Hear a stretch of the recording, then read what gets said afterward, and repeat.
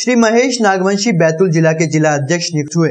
महाकौशल राष्ट्रीय पार्टी के राष्ट्रीय अध्यक्ष एवं संस्थापक डॉक्टर सतीश नागजी के निर्देश पर नर्मदापुरम संभाग के बैतूल जिला के श्री महेश नागवंशी जी को बैतूल ज़िले के जिला अध्यक्ष की ज़िम्मेदारी दी गई।